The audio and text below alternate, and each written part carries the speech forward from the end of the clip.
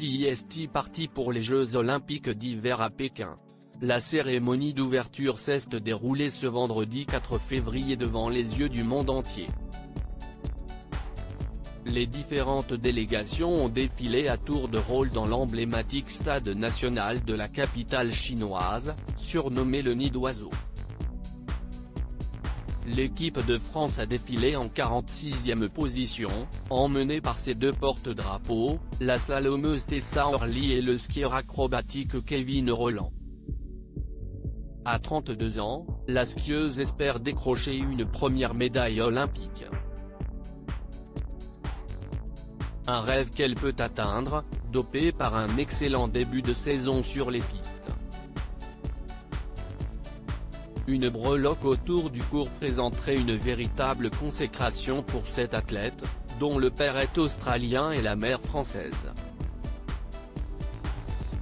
Née en Haute-Savoie, Tessa Orly a grandi entre la France et la Nouvelle-Zélande, et s'est imposée au fil des années comme l'une des stars de sa discipline. Une réussite professionnelle, mais également sentimentale puisque côté vie privée, la championne est en couple depuis 2009 avec une ancienne star du ski, Julien Liserou. Une belle histoire d'amour qui a débuté à Val d'Isère lors des championnats du monde.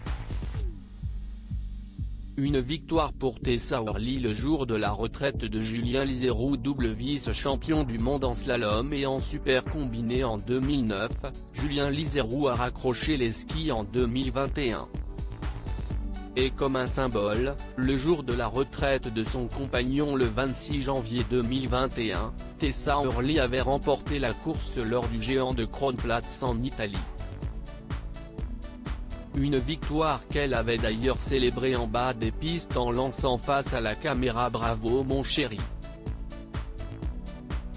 Très discrets sur leur vie privée, les deux tourtereaux ne se montrent que rarement sur leurs réseaux sociaux respectifs.